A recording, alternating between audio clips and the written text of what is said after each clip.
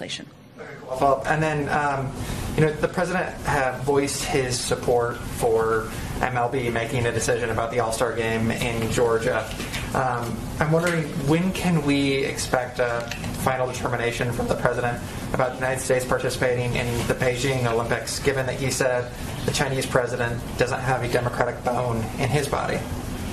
Well, I I think the U.S. Olympic Committee uh, would play a big role in, uh, in And on Major League Baseball here in the United States. He States. actually didn't. I, I think I don't know if you heard the que- the answer, the question, the answer that happened a few minutes ago, where we addressed this, and I answered the question. So, uh, and I give a little more context, but maybe you weren't paying attention to that part.